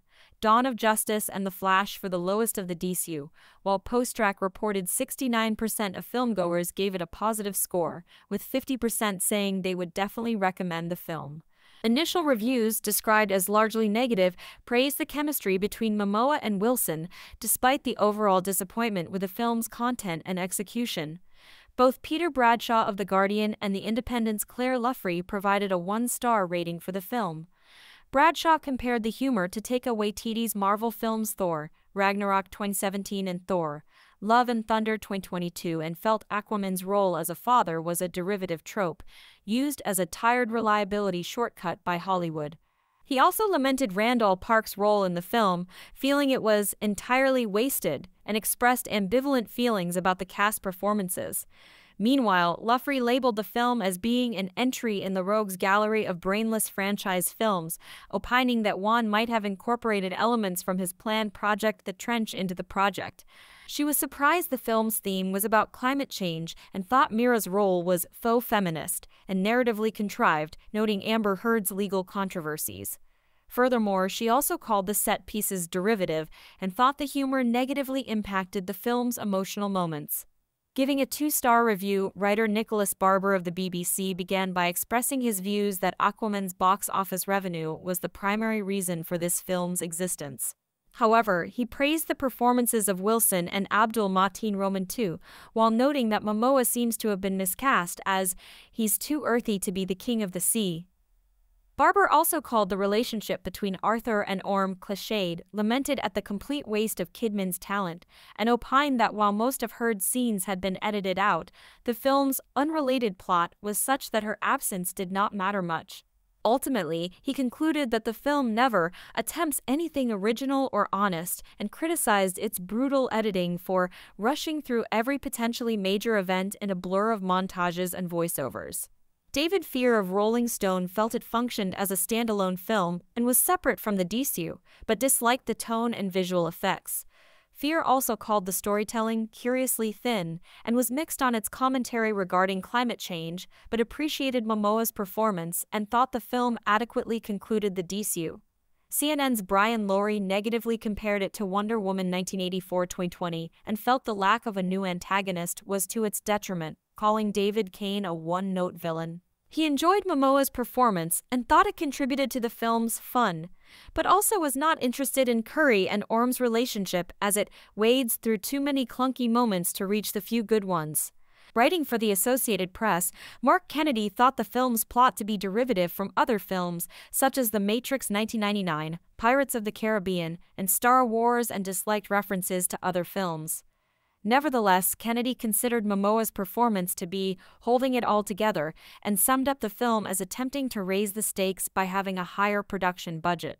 Wan's direction was commended by Alyssa Wilkinson in the New York Times and Phil Owen in GameSpot, with Wilkinson crediting him with creating a film beyond the paint by numbers superhero movies we've been watching for decades now. Wilkinson also enjoyed the political commentary, as she felt certain elements were metaphors to authoritarianism and fascism. She primarily enjoyed Wilson's performance and Orm's character development compared to Aquaman, but felt certain plot elements and the humor became repetitive and boring. Owen commended the production values, but felt it lacked substance and was empty headed, going on to give the film an 8 out of 10. The AV Club's Matthew Jackson gave it a B grade, enthusiastically enjoying the film's depiction of Orm and Arthur's relationship, calling that formula absolute gold, both on a set piece and a character level. However, Jackson opined the narrative contained too much and disliked the plotting, but still felt it could effectively tell a cohesive narrative and enjoyed his overall viewing experience. Michael Ordoña of the Los Angeles Times felt it highlighted climate change in an earnest if clumsy fashion and expressed minor complaints with the absence of physics during CGI based action sequences underwater. Ordoña enjoyed the film's buddy cop movie tone and noted how it focused on portraying Arthur interacting with his family rather than Mera. He commended the characterization of Arthur and Orm, complimenting the former as the most alive character in the DCU, and enjoyed the short runtime. Meanwhile, Bob Strauss from the San Francisco Chronicle considered it to be a decent conclusion for the DCU, and added that the story and runtime had been concise and efficient, agreeing with Ordoña's sentiments. He mostly enjoyed the film's design and visual effects, but felt it was similar to Zack Snyder's then released film Rebel Moon 2023. He considered the acting effective in conveying the sensation of being underwater and highlighted Arthur and Orm's relationship, but disliked the delivery of exposition. In December 2022, The Hollywood Reporter reported that Warner Bros. was considering ending the Aquaman film series and recasting Momoa as the character Lobo following Aquaman and the Lost Kingdom. In January 2023, Momoa stated that he would always be Aquaman, but felt that he could also portray other characters. Later that month, DC Studios' co-CEOs Gunn and Safran said there was potential for Momoa to reprise his role in the DCU, but a decision on Aquaman had not been made. No actor would be playing multiple characters, so if they did cast Momoa as Lobo, he would not portray Aquaman in the DCU. Gunn confirmed that Aquaman and the Lost Kingdom, alongside The Flash, would lead into the DCU's first film Superman 2025. Safran expressed interest in continuing to work with Momoa, either within the world of Aquaman or finding another character. He explained that they set a high bar for casting and felt that Momoa's Aquaman was a perfect casting. In September 2023, Gunn clarified that any DC media released before the first projects for the DCU in 2024 would not be canon to that franchise, leading commentators to question the possibility of a potential continuation moving forward. Wan said The Lost Kingdom would help set up a sequel and expressed interest in directing it after a long break. The following month, Variety reported that none of the main cast members from Zack Snyder's DCU films would reprise their roles in the DCU, including Momoa as Aquaman. However, Momoa had reportedly been in talks to portray Lobo in either Superman or a solo film for the character. Ahead of The Lost Kingdom's release in December 2023, Momoa said it could be his final performance as Aquaman, explaining that if the film was received well by audiences that a sequel could be possible, but he felt it was not looking too good for him reprising the role. The actor said he had a lot of ideas for the character and indicated that a younger character, such as Aquaman's son Arthur Jr, could be featured in a potential third Aquaman film. He also said that he would not be replaced with a different actor as Aquaman, Safran said at that time that Momoa would always have a home at DC and that we'll see what happens with him beyond this film. In the DC expanded universe of films, which appears to be winding down, there's only one hero who brings an instinct for fun to every scene, along with an awareness of his own ridiculousness, and that's Aquaman. Specifically, that's Aquaman as played by Jason Momoa, who refashioned the half-human prince and later king of Atlantis, aka Arthur Curry, as a brawny, long-haired, beer-chugging, high-fiving, wisecracking bro who bears quite a bit of resemblance to an actor named Jason Momoa. Momoa achieves peak Momoa in Aquaman and the Lost Kingdom, a neon submarine wreck of a sequel wherein the big guy tries to save the planet from returning bad guy Black Manta, aka David Kane Yahya Abdul Mateen Roman II, who wants revenge against Aquaman for killing his dad in the first movie, and has allowed himself to be possessed by the spirit of the Black Trident, which was forged by denizens of the Seventh Kingdom of Atlantis, a necropolis filled with demonic creatures. Black Manta is dangerous to himself as well as others, and not as in control of the awesome weapon he wields as he thinks he is. His plan involves the use of a glowing green ancient power source that's like radiation times a zillion, and is accelerating the pace of climate change. The film's title is etched into the face of a collapsing glacier. Momoa is the best reason to see the movie. He's as alpha cool, even jerk-ish, as a maverick action star can be, while also making you believe his character is fundamentally decent and knows when he's gone too far and sincerely feels bad about it. And he's got range. One minute, Momoa will practically be doing his own smart Aleki running commentary on the film he's in, and in the next he'll weep bitter tears or scream out in anguish or vengeful fury over some dastardly action by a bad guy, as if he's acting in a silent movie melodrama with title cards. And it all works. The self-awareness never becomes self-conscious or off-putting. Rather than give viewers emotional whiplash, Momoa leads them on to the next scene or mode in a way that makes it feel as if it's all of a piece. By the way, our hero has an infant son in this one by his wife Mera, played by Amber Heard, and there are Pixar-style obvious, but can't miss jokes about the kid keeping the parents up all night. Momoa's movie star bona fides are confirmed by the belly laughs that he gets from the baby. The second best reason to see the film is Momoa's chemistry with his co-star Patrick Wilson, returning as Arthur's half-brother Orm Marius, aka the Ocean Master, the deposed would-be king of Atlantis and Arthur's chief rival in the first movie. Wilson seems to have been warped into contemporary Hollywood from a much earlier decade. He has a Van Heflin quality in this one Matt typed for the benefit of any oldsters and Wikipedia consulters who might be reading.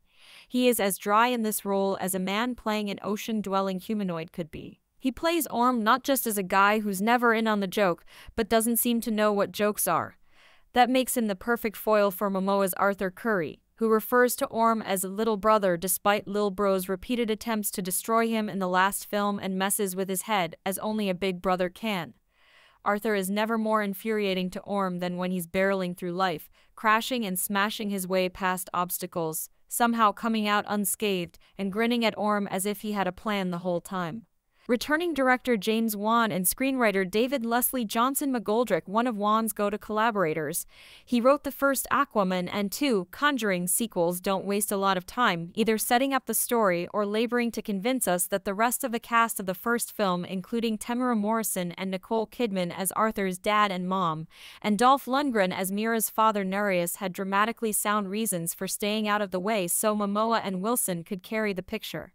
Probably two-thirds of this sequel's running time is devoted to Arthur and Orm doing the argumentative buddies on a mission thing, with a bit of estranged brothers reconciling, plus dashes of redemption narrative, lessons learned, and admitting you were wrong so that you can grow. This is a fun movie, but not anywhere near a great one. It lacks the go for broke bigness of the original, with its flagrantly melodramatic family dynamics and knowingly ludicrous spectacle like the seahorses that whinnied and the sharks that roared. There's a cluttered too muchness to the production. You may get the sense that there was chaos behind the scenes, and stuff that was staged and shot with the intention of having it play out full length had to get pulverized and reconstituted in the editing to make the totality work for audiences and exhibitors. The narrated by Aquaman opening montage plays like an attempt to shave 20 minutes off the running time and get scene setting and expository throat clearing out of the way, so the movie could jump ahead to the bits with the brothers getting in and out of trouble and working through their relationship issues while toppling statues, punching giant bugs, and zapping people with laser guns. How many influences do you think they referenced in this?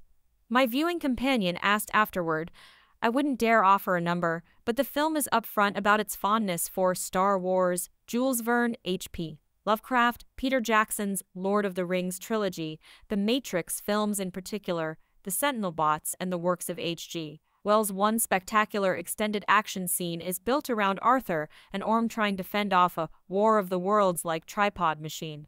We follow the duo through a dazzling variety of settings, including the aforementioned necropolis, which Wan has said is modeled on Mario Bava's Planet of the Vampires, and a secret underwater lair constructed from the wrecks of pirate ships, and a volcanic island full of green goo-mutated flora and fauna that's like something Ray Harryhausen would have stop-motion animated in the 60s, the Harryhausen Showcase Mysterious Island, based on H.G.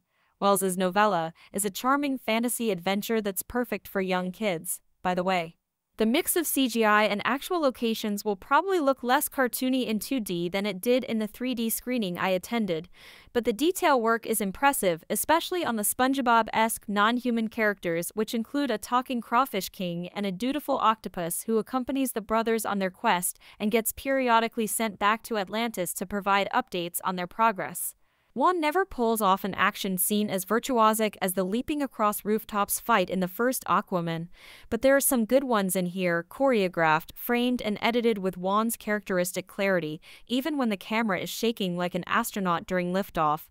A few of them play out from a distance with our spec-sized heroes racing through vistas packed with gigantic creatures, machines, armored warriors, jagged rocks, fire and ice. Kidman, Morrison, Lundgren, Abdul Mateen, and other supporting players exhibit such poker face commitment to the story throughout that you might wonder how much richer the film might have been if they'd been integrated elegantly instead of shoehorned in.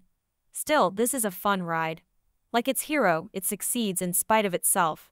And there's something to be said for a big budget fantasy that knows what not to do and when to stop. The main problem of Aquaman 2 starts right from the first scene, which is an underwhelmer. But you'll want to give it a chance and you keep up your spirit alive to watch a film that is dying with every frame, all thanks to David Leslie Johnson McGoldrick and Will Beall's weak screenplay. While the story by Geoff Johns, James Wan, and Will Beall has it all a superhero, a secret world at threat, brothers uniting, and a throne what it lacks is a banger adaptation of this story. You can't point out the exact point where the film stops working or falls down like a pack of cards. The beginning itself is a mood killer with loose jokes, not landing anywhere, and Momoa trying too hard to come across as a naturally funny superhero. While DC tries to model him on MCU's Thor and somewhere even achieves it in the first part, the humor and the film fall flat in this sequel.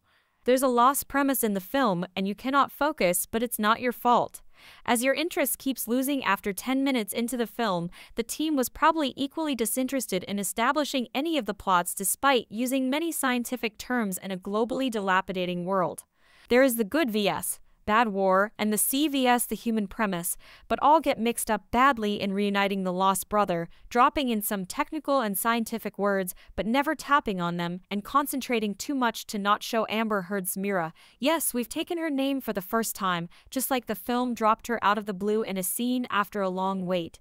Jason Momoa is a star struggling to save his superhero, and it is visible on screen. The effort he puts in as Aquaman translates into some really good scenes, but unfortunately, it wasn't enough to save this dying franchise. Still, if you would want me to choose between Khal Drogo and Aquaman, I would simply go with the latter since he manages to create a quirky charm around his superhero who is convincingly believable and wants you to move into his kingdom of the sea at any given point of time. Amber Heard's Mera had just one job in the entire film to emote for a powerful scene, which could be the highest point in the climax scene. But man, her acting chops are questionable. Nicole Kidman had very little to offer, but she graciously took the backstage to push the film ahead. Patrick Wilson as King Orm leaves you wanting for more. Probably he is the only character who deserves a much better arc and higher respect in the film. Randall Park's marine biologist Stephen Shin gets a poorly written part, which he tries to work on as hard as he can. James Wan probably hit the lowest with this sequel despite bringing to the table a visually appealing film that enchants you nonetheless with very strong VFX. But none of it has been rightly put to use, even when you have faith in the film after a scattered first half since the second half promises redemption, but he fails to deliver the promises. Even for the climax, where one could have expected a great fight, which could have been the winning point for this film, he just slides away like a broken glacier that melts at a pace higher than you expected.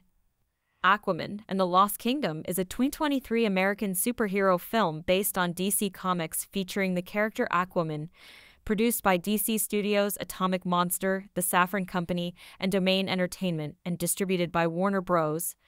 Pictures, it is the sequel to Aquaman 2018 and the 15th and final film in the DC Extended Universe DCU. The film was directed by James Wan from a screenplay by David Leslie Johnson McGoldrick and stars Jason Momoa as Arthur Curry Aquaman, alongside Patrick Wilson, Amber Heard, Yahya Abdul Mateen Rimantu, Randall Park, Dolph Lundgren, Temuera Morrison, Martin Short, and Nicole Kidman.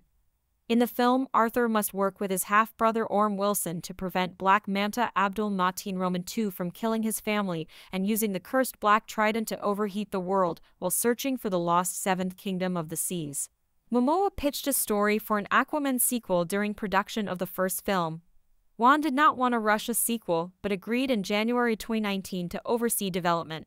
Johnson McGoldrick signed on to return as screenwriter a month later, and Wan was confirmed to be returning as director in August 2020. He said the film would expand on Aquaman's world building, have a more serious tone, and feature themes such as climate change. It is a buddy comedy between Aquaman and Orm and was inspired by the Silver Age of comic books with a retro science fiction vibe similar to the works of animator Ray Harryhausen and the horror films of the 1960s, specifically Planet of the Vampires 1965. Wan announced the sequel's title in June 2021, ahead of the start of filming at the end of the month. Filming concluded in January 2022, taking place in the United Kingdom, Hawaii, Los Angeles, and New Jersey, with additional filming in New Zealand. Aquaman and the Lost Kingdom premiered at a fan event at the Grove, Los Angeles on December 19, 2023, and was released in the United States on December 22. The film received generally negative reviews from critics and grossed 434 million worldwide against a production budget of 205 to $215 million. During the production of Aquaman 2018, star Jason Momoa developed a story pitch for a sequel that he gave to Warner Bros. Pictures Group chairman Toby Emmerich and producer Peter Safran. In October 2018, before the film's release, Momoa said he would be more involved in the development of a potential sequel and expected filming to begin in 2019. Director James Wan said there were several storylines that could spin out from Aquaman, with that film introducing seven underwater kingdoms that had yet to be fully explored. Momoa and his producing partner Brian Mendoza wrote a 50-page treatment for the sequel, which Warner Bros.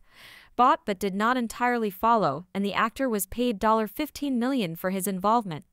Emmerich had enough confidence in box office projections for the film by early December to begin discussing a sequel. By the end of January 2019, when Aquaman was set to become the highest grossing film based on a single DC Comics character, Warner Bros. was in negotiations with Wan to oversee the development and writing of a sequel with the potential to return as director. Geoff Boucher of Deadline Hollywood noted that Wan had been very protective of sequels to his previous films Insidious 2010 and The Conjuring 2013 and was deeply invested in the world building of Aquaman. Wan had previously compared the world of Aquaman to other fictional worlds such as Middle-earth, the Star Wars galaxy, and the Wizarding World. In early February 2019, Warner Bros. hired Noah Gardner and Aiden Fitzgerald to write the script for a horror-tinged Aquaman spin-off film titled The Trench, based on one of the kingdoms introduced in the first film. It was expected to have a smaller budget and not feature the main cast of Aquaman, with Wan and Safran producing. Boris Kit of The Hollywood Reporter reported then that there had not yet been serious discussions about a direct sequel to Aquaman between the studio, Wan and Momoa due to them wanting to have a breather first, but several days later he reported that active development on a sequel was getting underway with the first film's co-writer and frequent Wan collaborator, David Leslie Johnson McGoldrick signing on to write the screenplay. Wan and Safran were producing the sequel, though it was still unclear if Wan would direct it. At the end of February, Warner Bros. scheduled Aquaman 2 for release on December 16, 2022. The next month, Safran explained that he and Wan did not want to rush a sequel and Warner Bros. had been supportive of that which is why the film's release was scheduled for four years after the first film. He added that they were approaching the Aquaman franchise in a similar way to the Conjuring universe, with spin offs like The Trench exploring stories about the underwater kingdoms alongside the Mothership films starring Aquaman. Safran said Wan knew the architecture, the armory, the military, the look, the feel, the general vibe of each of the seven kingdoms and wanted to explore them all in future projects. In July 2019, Wan was set to direct the film Malignant 2021 before beginning work on Aquaman 2. Patrick Wilson said in November that he had discussed plans for the sequel with Wan and indicated that he would be reprising his role as Orm Marius ocean master from the first film. A month later, Yahya Abdul Mateen Roman II confirmed that he was returning as David Kane Black Manta and was looking to flesh out the character. Johnson McGoldrick stated in March 2020 that the sequel would not be based on a specific comic book, but was taking inspiration from the Aquaman stories of the Silver Age of comic books that featured Black Manta as the villain.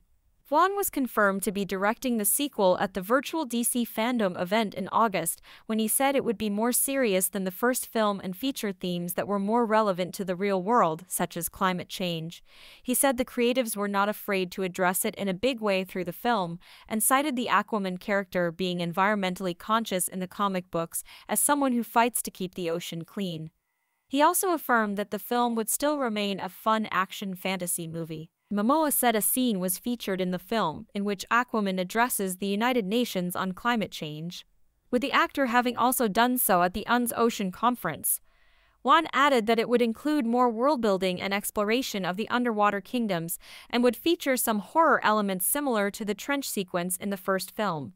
Being able to expand on the world building of the first film was one of the key reasons that Wan chose to direct the sequel, along with Johnson McGoldrick's script, which Wan felt had a really cool story to bring all these characters back and then growing them in a big way. Safran felt embracing the mythic nature of the Aquaman character and pairing that with the film's world building and visual storytelling made the film compelling, and he and Momoa both believed the film's humor exceeded that of the first film, while Wan said Aquaman was at the center of the film with his charm and humor. Amber Heard debunked rumors in November 2020 that she would not be reprising her role as Mera from the first film following allegations of domestic abuse made against her by her ex husband Johnny Depp. That month, a petition to have Heard fired from the franchise received more than 1.5 million signatures and came after Warner Bros. removed Depp from Fantastic Beasts.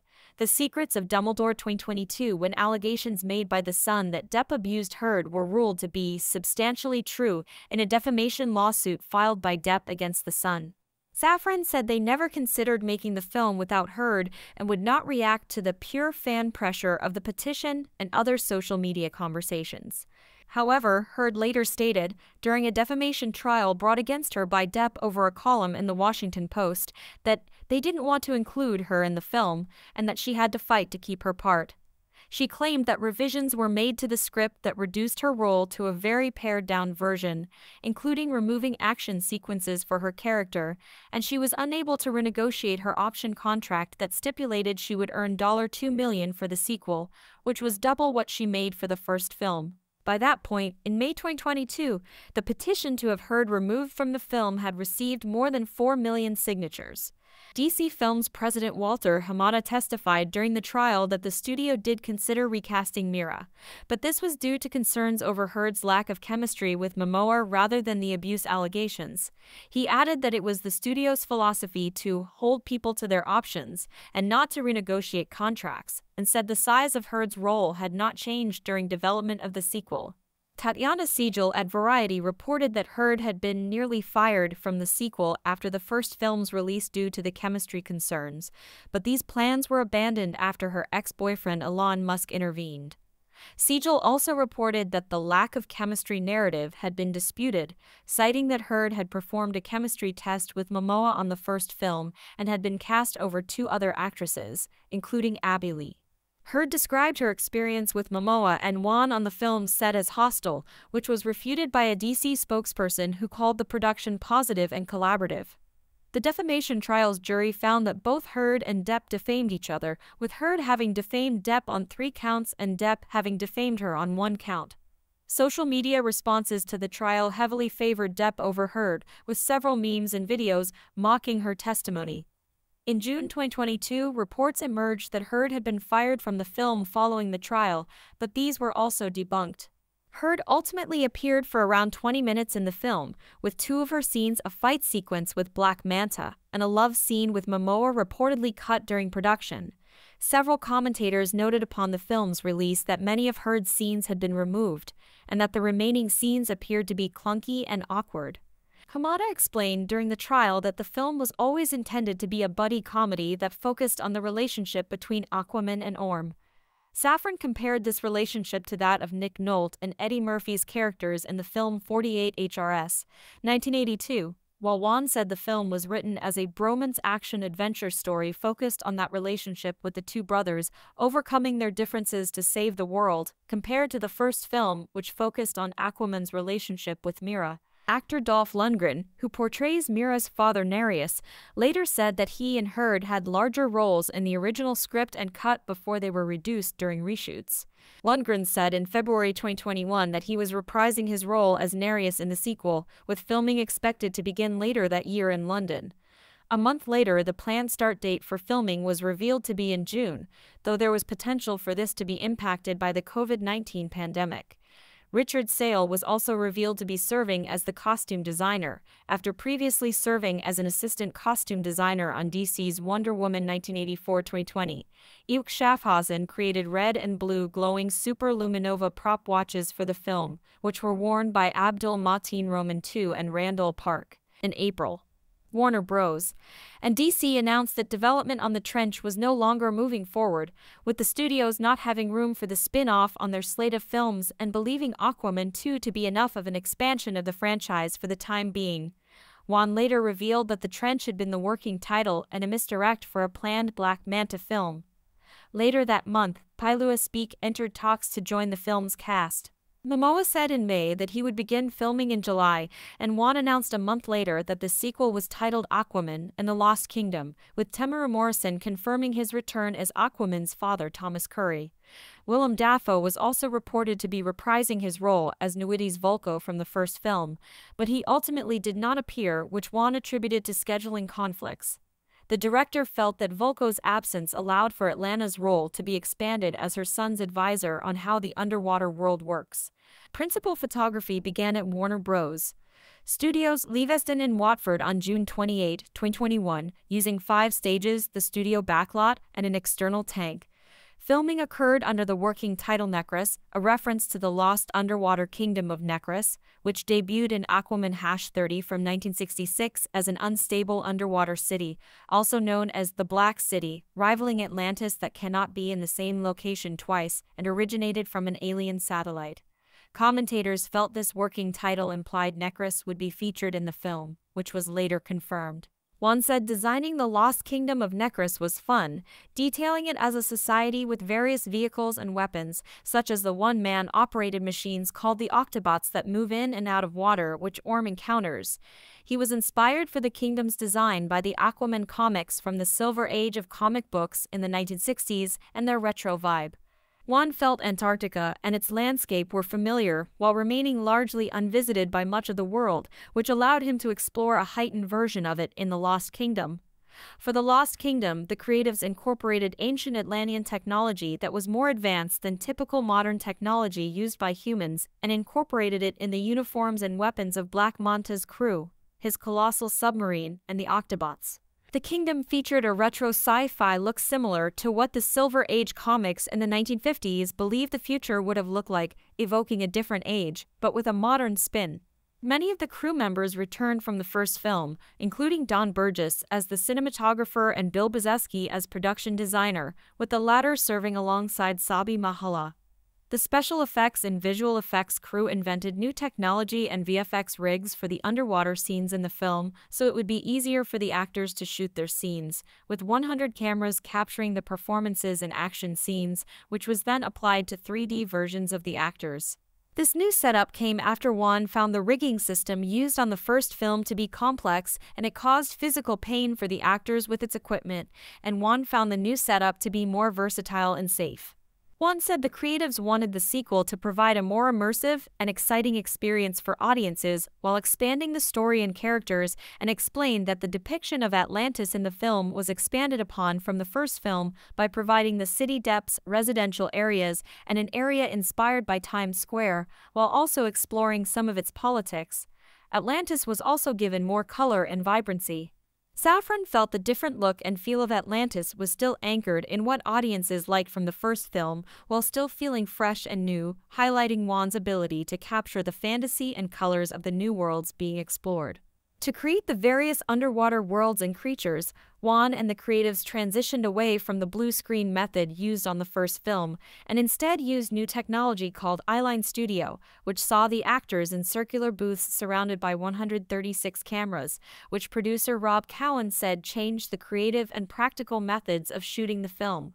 In August 2021, Wan said the sequel was strongly influenced by the film Planet of the Vampires 1965, as well as old school Euro horror and the stop motion monsters created by animator Ray Harryhausen.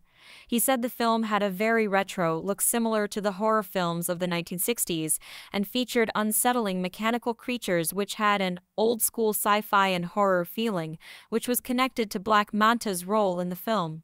Brzeski compared the film to Harryhausen's work on the films The Seventh Voyage of Sinbad 1958 and Jason and The Argonauts 1963 for being a fantastical adventure with a great quest and monsters, such as the deserter tribe which are located in the Sahara Desert and evolved into vampiric creatures by relying on blood for moisture, while incorporating issues modern audiences could relate to.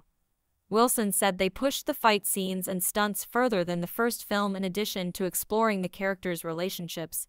He also revealed that the character T.O.P.O., an octopus playing drums, appears in the film. Wan said that, following the positive reception to T.O.P.O., his brief appearance in the first film, he and Johnson McGoldrick decided to give the character a significant role in the sequel, and believed the inclusion of T.O.P.O and other creatures from the Aquaman comics allowed audiences to know they were embracing the character's fictional world. Location shooting took place at Saunton Sands Beach, Devon in early September 2021 and at Piccadilly in the city of Westminster, London. Later that month, Asbæk's casting was confirmed, portraying Kordax, the undead king of the lost kingdom of Necrus. Randall Park was revealed to be returning from the first film as Dr. Stephen Shin, Vincent Regan had been cast as the ancient king Atlan, replacing Graham McTavish, who briefly portrayed the character in the first film. Jani Zhao was set to portray Stingray, an original character for the film, in her first English-language feature role, and Indya Moore was revealed to be portraying Karshon in the sequel. After shooting 95% of the film in the United Kingdom, production moved to Hawaii until December 9 for on-location shooting. Filming also occurred in Jersey City, New Jersey that year. Nicole Kidman was confirmed to have reprised her role as Aquaman's mother Atlanna shortly after that. Filming then moved to Los Angeles and officially wrapped on January 12, 2022 in Malibu. Filming was completed on time and under budget, and reportedly needed around a week of reshoots. Warner Bros. adjusted its release schedule in March 2022 due to the impacts of the COVID-19 pandemic on the workload of visual effects vendors. Aquaman and the Lost Kingdom was moved to March 17, 2023, and The Flash was also moved from 2022 to 2023 to allow time for their visual effects work to be completed, while Shazam! Fury of the Gods was moved up to this film's previous release date because it would be ready for release earlier. Wan said that while he loved the Christmas release timeframe for the film, he was thankful for this delay as it allowed more time for work on the visual effects and the new technology for it, which he called groundbreaking and said the film would not have made its prior release date. He had also been working on his director's cut at this time. Wilson also said that new VFX techniques were used for The Lost Kingdom. In June 2022, the final writing credits were revealed. Johnson McGoldrick received screenplay credit, while the duos of Wan and Johnson McGoldrick and Momoa and his producing partner Thomas Pa'a Sibbett received story credit. Momoa revealed in July 2022 that Ben Affleck was reprising his DC Extended Universe DC role of Bruce Wayne Batman for reshoots on the Warner Bros. backlot in Burbank, California. Aaron Couch of The Hollywood Reporter reported soon after that Michael Keaton had filmed a scene as his version of Bruce Wayne Batman from Tim Burton's Batman 1989 and Batman Returns 1992. Keaton's version was set to be introduced to the DCU in The Flash before that film's release was pushed to after Aquaman and The Lost Kingdoms. The scene reportedly confused audiences during test screenings, and Couch felt this was why Affleck joined the reshoots. The film was tested at this time and received mixed results, which continued after it was recut in mid 2022, prompting a new cut to be made. The next month, after Warner Bros. parent company Warner Media merged with Discovery Inc. to form Warner Bros. Discovery earlier that year, the studio delayed the film to December 25, 2023, to help spread out the marketing and distribution costs for its feature films. This pushed the film's release to after the planned release of The Flash, which meant there was potential for Keaton's version of Batman to appear in the film instead of a Affleck's. In October, The Hollywood Reporter reported that Keaton's cameo had potentially been cut. Around that time, Warner Bros. Film chairs Michael DeLuca and Pamela Abdy told Wan to reduce the budget for reshoots, as the film's budget had reached 205 million during production. By mid November, Safran had been fixing the film after he had become the co CEO of the newly formed DC Studios with James Gunn, who had provided notes on the film by the following month. Momoa said in January 2023 that he had shot scenes with a couple of actors as Batman, but was unsure which would be included in the final cut. In April 2023, the film's release date was moved up five days earlier to December 20, 2023. Between mid 2022 and the start of 2023, two sets of reshoots took place following several test screenings, with DeLuca and Abdy involved in editing the film. After further test screenings in early 2023, Gunn then consulted on the film. Those reshoots concluded right before the 2023 Writers Guild of America strike began that May, and the studios approached a third set of reshoots, which increased the film's budget to occur in New Zealand over five days in mid June with Momoa and Wilson, and was completed in four days. By then, both Affleck and Keaton were excluded from the latest cut of the film due to Gunn and Safran's plans to reboot the DCU into their new franchise, the DC Universe DCU. Neither actor appeared in the final version of the film. Following the reshoots, the film's budget ultimately reached $215 million. Around that time, Wan said he had to make some adjustments during production, as it had been challenging to keep track of the different versions of the DCU while remaining mindful of other plans for the franchise, but was fortunate that the Aquaman films were far removed from the rest of the DCU films and characters. In September, Wan said the film would not be connected to any previous DC films as he was uncertain if it was going to be released before or after The Flash. He explained that he had directed a relatively small amount of additional photography, which he described as a routine part of the production process due to some actors being unavailable during some parts of principal photography. Lundgren later said that the studio decided to reshoot much of the footage to rebuild it with a slightly different storyline, resulting in his and Heard's roles being reduced. In October 2023, the film's release was delayed by two days to December 22, 2023. The following month, Warner Bros. signed a new multi year co financing deal with Domain Capital for their theatrical films, including The Lost Kingdom, through that company's $700 million fund for media and entertainment, Domain Entertainment. Kirk Morri returned as the editor from the first film, and Nick Davis served as the visual effects supervisor, having previously worked on The Dark Knight 20. Nearly each frame in the film featured visual effects, which were provided by Cinesite, DNEG, Industrial Light, and Magic Ilm, Moving Picture Company MPC, Scanline VFX, and Rodeo FX. Wan and Wilson teased plans for the film in a panel at the virtual DC fandom event in August 2020. A year later, at DC Fandom 2021, concept art and behind the scenes footage from filming were revealed.